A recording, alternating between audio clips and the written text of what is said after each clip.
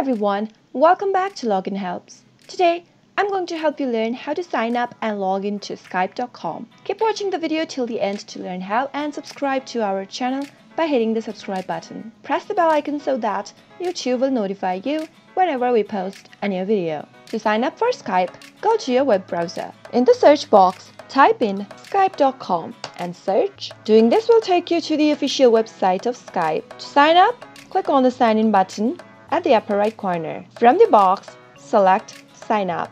The next thing you'll need to do is select your country code and enter your phone number. If you don't want to use your phone number and want to use your email address instead, click on use your email instead. Now, enter an email address for your Skype account and click on the next button.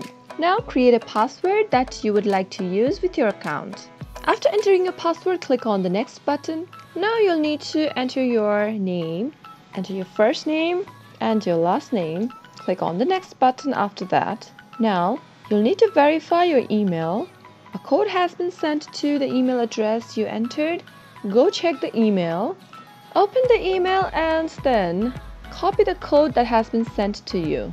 Go back and simply enter the code. If you don't like information tips and offers about Microsoft product and services, then uncheck the little box. If yes, just leave it as it is and click on the next button. Before proceeding, you'll need to make sure that you are a real person that is creating an account. Enter the characters you see above.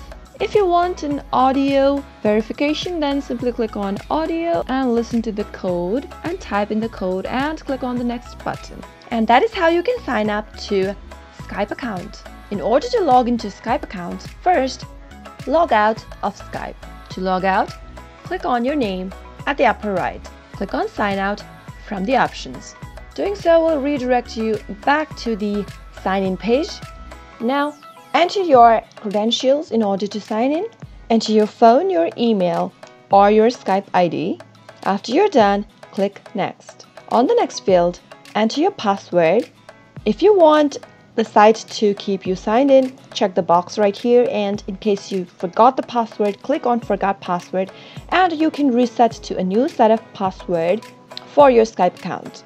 Click on sign in, wait for a few moments and you are signed in to your Skype account.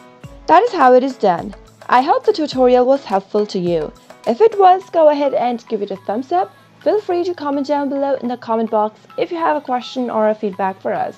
I'll be back soon with more tutorial episode. Goodbye till then.